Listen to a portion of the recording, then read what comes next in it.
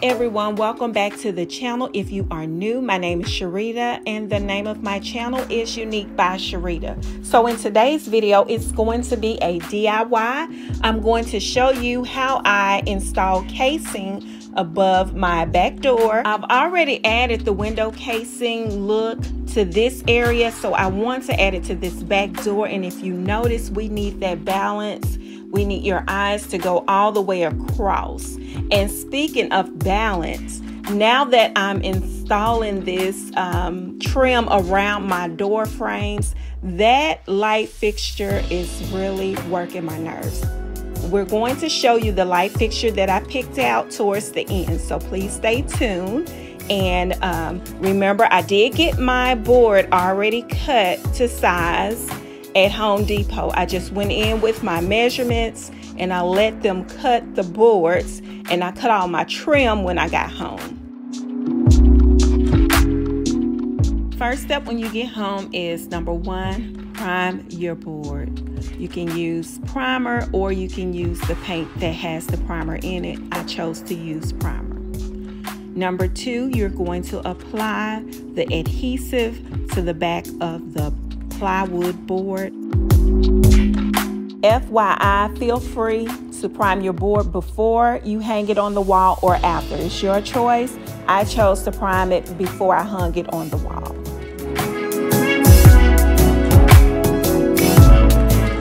You also want to clean any of the area that may have gotten any glue or paint on it as you go. You don't want to wait until after you've done everything and go back and realize that the paint is not coming off. So go ahead and clean it as you go. Steps three and four and apply the board to the wall above the casing and then you want to follow up with the level to make sure the board is straight. This will determine how everything else that goes behind it is. So if that board is straight, everything else should be straight that goes on right behind it. Number five and six will be applying the inside trim. You can have this cut yourself at Home Depot, but I decided to come home and cut it myself. Just be sure that your inside measurements are the same width of the plywood. So I had my uh, miter saw and I just mitered the edges. We're going to apply the inside trim on the very lip of the board. It's resting on the board and then I'll just follow up with the nail gun using finishing nails.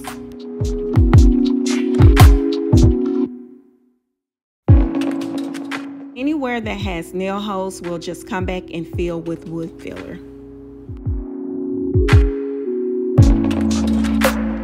The last piece to this puzzle is a one by two board. It's already cut to size and I'm just applying a bead of adhesive to the very back of it because that's what's going to stick to the wall as well as to the board underneath. This one by two by one board is one and a half inches longer than your plywood to allow overhang. I'll just attach it and then I'll follow up with the nail gun right, that is it. So let's patch the holes, caulk, and paint, and then we'll do the same thing to the other two areas.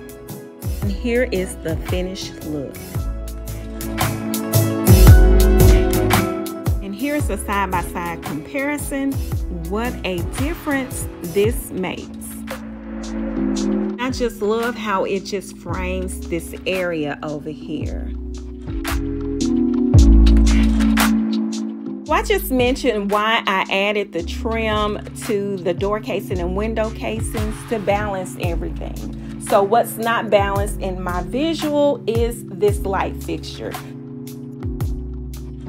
So I partnered with Urban Ambiance. I will be selecting a beautiful chandelier for my living room to replace this one. So let's go over to their website and I will show you what I selected. So Urban Ambiance has some beautiful light fixtures and I love the fact that you can select what you want by width, by the finishing, as well as the style and certain design features. Let's just go into maybe something in the shabby chic style. So these are so pretty. If this was the category I was looking for, I would definitely pick that one. That one right there. And maybe that one. Okay, so you get my point. They do have some beautiful light fixtures.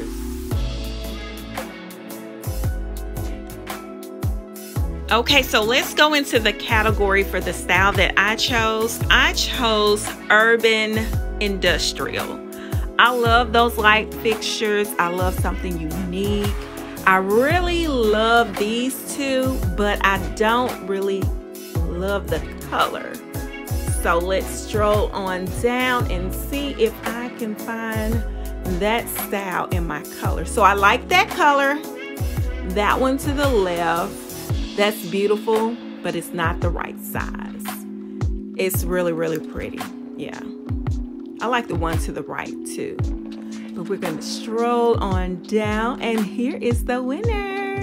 The one to the right, it has all the measurements it has the perfect size and style. So that is the winner. And then I also like to read the reviews on anything I select. And yes, ma'am, yes, sir, I do read my questions and answers because someone may have the same question I have. And moving right up to the top, we're looking at the bulb information. Yes, that one does require a T10 bulb as well as the recommendations for hanging or how high to hang the light fixture or chandelier above an object. And we also need to know important things like what's the width of the light fixture because nobody wants to order a light fixture and they think it's huge and they get it home and it's really small. But the good thing about Urban Ambiance is that they do show real pictures of their light fixtures above an object or in a room. So there you have it. That is the light fixture. And by the time I post this video, the light fixture will be here. So I'll be working on the next video, which is putting it up and sharing it with you all. All right, everyone, this is the end of this video. I will be putting the link to Urban Ambiance in the description as well as a link to the light fixture that I chose. Thank you all for watching my videos. If you haven't already subscribed and you like these types of videos, please hit the subscribe button and turn your notification on so you'll be the first to know when I post videos. Thanks again for watching. Have a great day.